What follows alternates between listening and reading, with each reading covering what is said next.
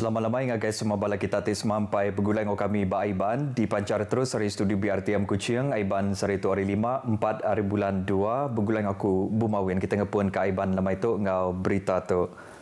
Rega maksimum manuak ngau teluk manuak tidi pejalai berengkah hari pegila nyentuk ke ngagai 5 hari bulan 6 tu ila.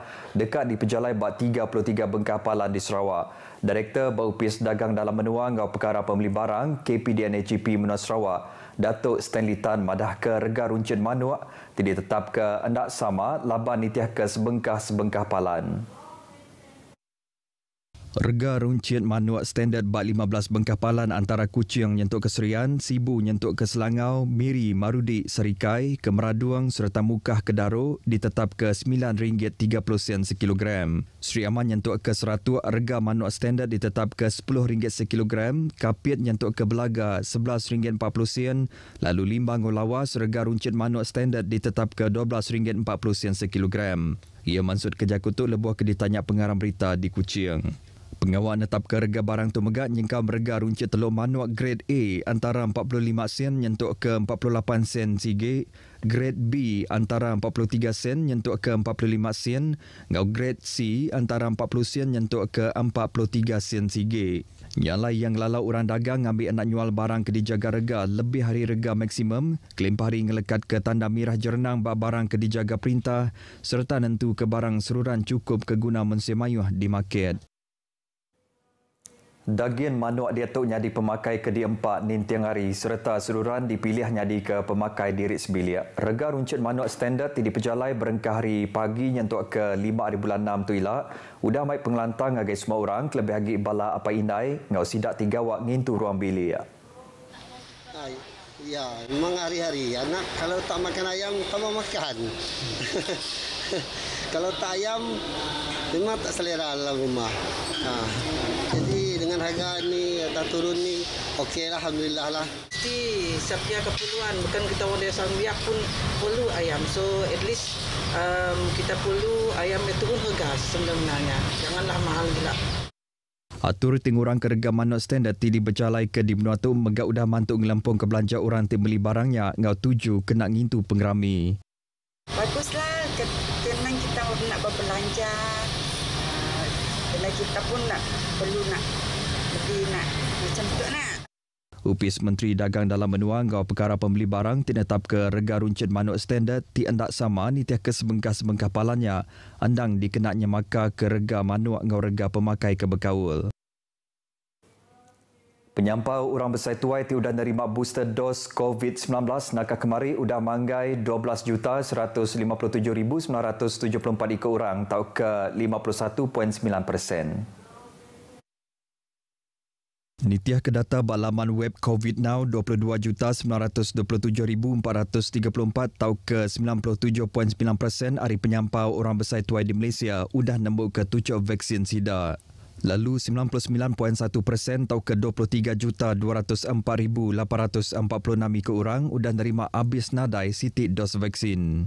2,789,988 tau ke 88.6 persen nembiak ke bumur 12 nyentuk ke 17 tahun di Malaysia. Sudah nembuk ke tujuh vaksin lalu 2,868,262 tau ke 91.1 persen habis nadai sudah nerima sitik dos vaksin. Kemari 100,810 dos vaksin sudah diberi ianya 2,497 dos keterubah, 2,603 bagi dos kedua, ngau 95,710 booster dos. Ngujung ke penyampau vaksin itu sudah diberi dengan program bertujuh vaksin COVID-19 bangsa, nambah ngagai 63 juta 743,710 dos.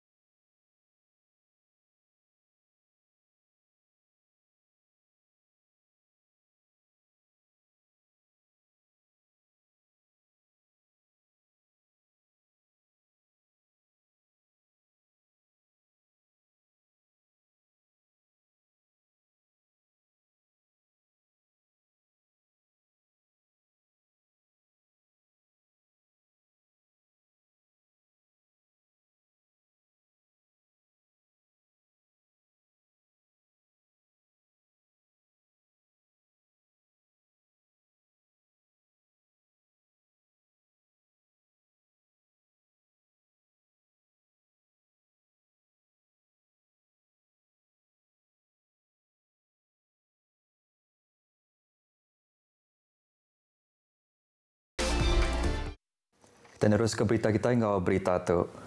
Upis Menteri Pengerai KKM dekat ngelanjar ke kontrak pengerja pengawal pengerai terdekat habis timpuh dalam tahun tu. Kepala Sekretari KKM Datuk Seri Muhammad Syafiq Abdullah bak sebengkah penerang kemari madah ke Upis Pengerja Pengawal Perintah kena 26 hingga 28 hari bulan 1 tu kemari setuju ngambil baru ngenak cara kontrak 1243 ikut penolong pegawai perubatan grade U29 hari Institut Latihan KKM ti habis kontrak kena 2 hari bulan 2 tu. Datuk Seri Muhammad Syafiq madah ke perkara yang megah sudah dipadah ngagai kepala Baupis ke Bekawul.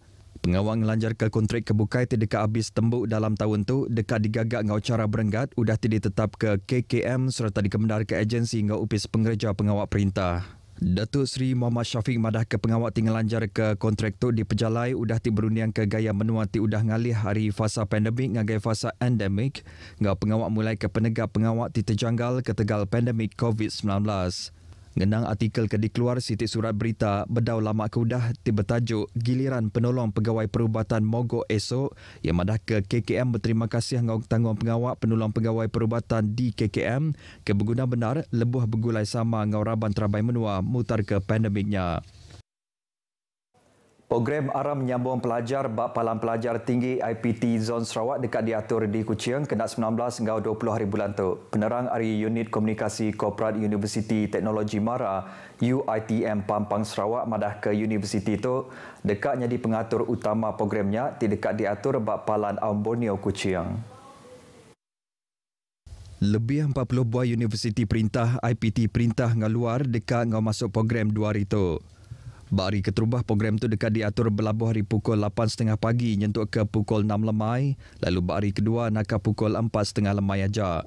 Kepala Menteri Datuk Patinggi Tan Sri Abang Johari Tonopeng diadang dekat berjadi ke programnya ialah UITM mengharapkan dengan program ke diatur tu sidak ti baru habis ngambil persa SPM, STPM, ngau kebukai dekat boleh penerang pasal program pelajar TBC disedia ke IPT. Nyalai sidak kebekal di peransang datang ambil peluang tu kelimpah hari bisik peluang kau masuk mayah bengkah pengawal kebukai di sama bisik diatur mayahnya ila ngau hendak berbayar.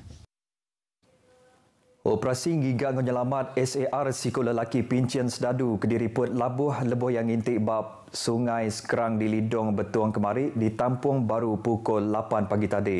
Operasi itu dipasuk raban polis, bomba, APM ngau Mensia Mayuah. Lelaki ke umur 49 tahunnya diriput ke ngintik bergulai ngomnya di Tuaya, Bak Sungai Sekerang. Lelaki itu diriput ke lenyau nadai temu penunggak kira 1 km hari jelatung rumah panjai sidak Bak Kampung Lidong Betuang. Operasi diperjalai ke lemai kemari udaraban SAR menerima riput pasal penuh satu.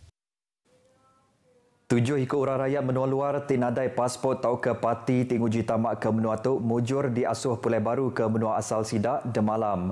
Sel Perhubungan Raya Markaz 1 Division Bak Sebengkah Penerang Madah Raban jarak jauh di benua berjalai ke pengawak nginau tertemu ke parti tu bak ladang sawit kampung Stas Bau yang kira 200 meter hari sempadan Indonesia Malaysia urung pukul 8.15 minit malam. Hasil pansiat tunggayan ke semua sidanya rakyat Indonesia ianya lima ikut lelaki ngau dua ikut induk ke umur 23 nyentuk ke 44 tahun tinadai ngemuan dokumen pejalai tisah. Semua partinya menggak keterubah ya dekat tamak ke Malaysia laban ti dekat ngigak kerja di menua tu. Nadai ngerampas barang lalu semua partinya sudah diasuh pulai baru ngagai menua asal sida bak kandang sempadan Malaysia Indonesia bak pos tentera nasional Indonesia Angkatan Darat urung pukul 10.30 minit malam. Jadi itu berita kes buli bas bengkas sekolah sekondari di Seratuk terjadi apian lama ke udah. Kepala Polis Pelilih Seratuk DSP Mordani Tanin madah ke kedua-dua pihak ruang bilik dikena laban kes tu sudah bersetuju mutar ke kesnya ngau mana serta hendak berjalan ke atur undang-undang. Berjaku ngagai RTM, DSP Mordan madah ke sidat nerima ripot polis pasal kesnya kemari.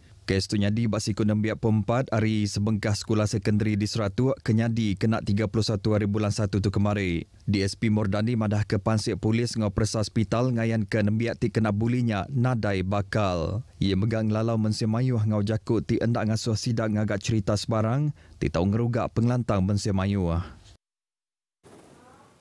Beritanya tadi ngujung ke berita Aiban kita ke lemah itu. Pedak meh berita-berita baru ba portal berita RTM di berita.rtm.gov.my.